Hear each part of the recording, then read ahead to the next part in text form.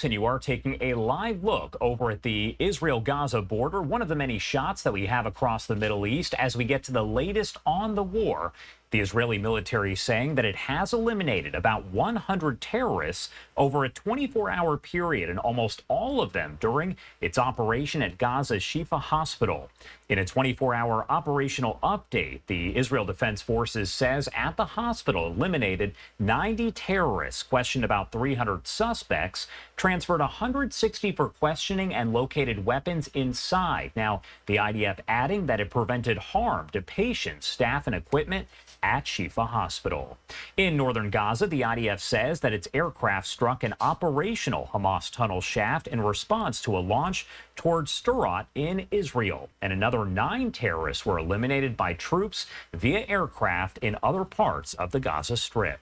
Now, an Israeli government briefing just wrapped up a short time ago. I do want to play that for you here, raw and unfiltered, as we do on Live Now from Fox. Good afternoon. I'm David Mencer, Israeli government spokesman. Today is the 20th of March 2024, day 166 of the October 7th war. 166 days, our war aims remain the same. Number, number one, to destroy Hamas concurrently, to bring home the hostages, and of course, to ensure that Gaza never becomes a threat to us ever again, and providing humanitarian aid to achieve these goals. This will deliver a stinging blow to the Iran terror axis. I want to start today with an update on our casualties from this war. IDF fatalities since the start of the October 7th massacre have unfortunately risen to 593. That is up one since our last briefing on Monday. The people of Israel grieve with the family of Warrant Officer Sebastian Haon, age 51, from Rosh Ayin. Sebastian, as he was called on his ID, but was known as Sabi. Sabi was killed yesterday fighting Hamas. Sabi volunteered for reserve duty. Sabi wrote on Facebook in January, we have no other home, we have no other possibility of losing, we must win. Sabi was a father. Sabi had recently beaten cancer. Sabi emigrated from Argentina, Sabi gave his life for the people and the state of Israel. There are no words, words of consolation. We embrace the parents of their dear families, to those who have lost precious heroes, sons and daughters in this war for our existence. The price of war is heavy, it's painful. Each casualty is a world unto itself. May their memories be a blessing forever. Now, an update on our efforts to free Gaza from Hamas. The War Cabinet's instructions to the army was to do everything to limit civilian casualties. The ratio of combatants to civilian deaths is now down to less than an unprecedented one to one. Each civilian death is, of course, a tragedy. The security assessment is that 18.5 out of Hamas's 24 battalions have been destroyed. 1.5 battalions remain in central Gaza, with four remaining in Rafah. We do not see a way to eliminate Hamas militarily without destroying these remaining battalions.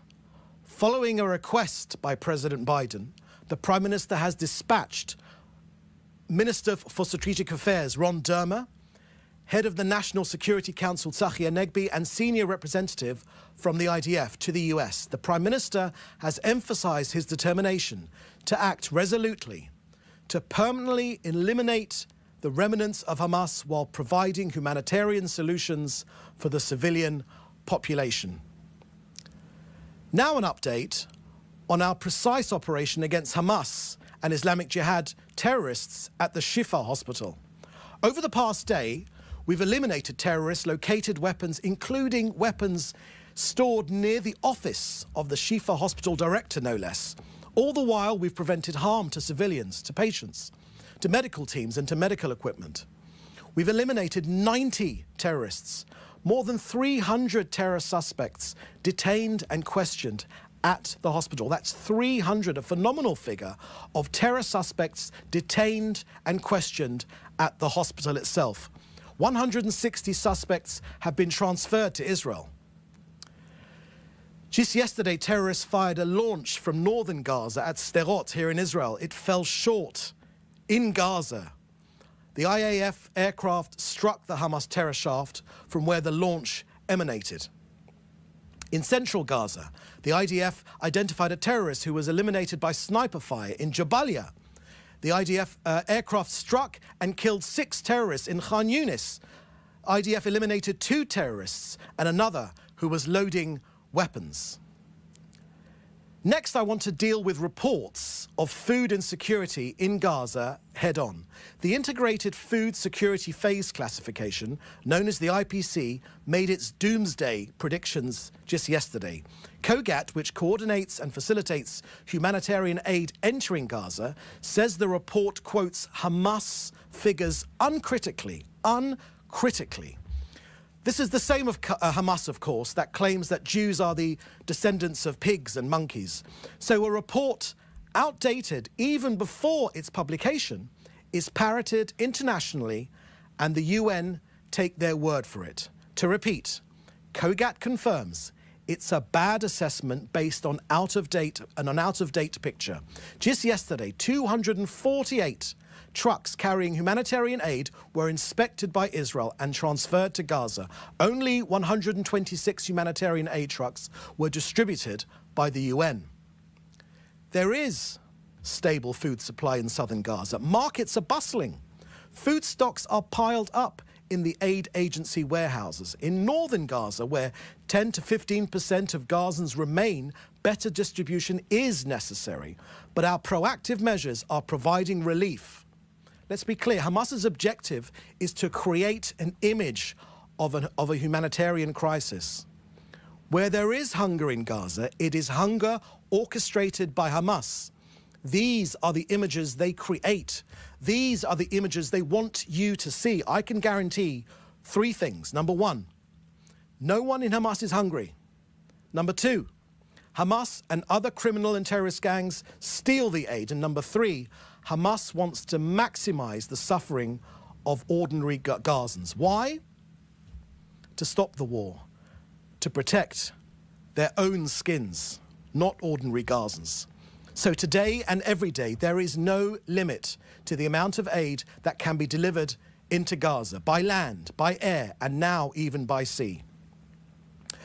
That brings us to the end of today's briefing. I will now take your questions in the chat. Please state uh, your news outlet. Thank you very much. The first question is by Joel Pollak from Breitbart News. The IDF said that it uh, eliminated senior Hamas operatives in Rafah on Monday, yet there is a public debate between the US and Israel about whether and how Israel should operate in Rafah at all. Was this mission cleared with the US and is it sending a message that Israel intends to operate in Rafah regardless? Uh, Joel, thank you very much for your uh, question. Uh, what, of course, it does um, um, uh, stress and what it does prove to be true is that Hamas is the last strong, uh, that, uh, that Rafah is the last stronghold of Hamas. It was from Rafah that we released, we rescued two of our precious hostages. We believe many of the hostages are in Rafah. We know that four battalions are in Rafah.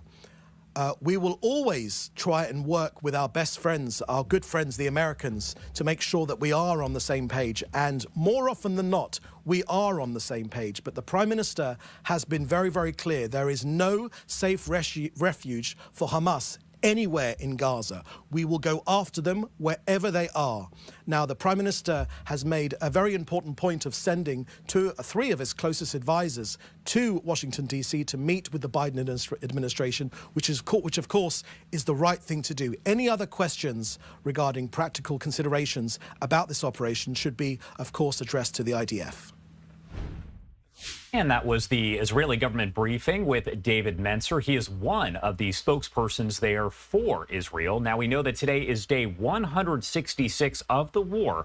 And at last check, a ceasefire and hostage release deal does remain on the table, but has not been approved just yet.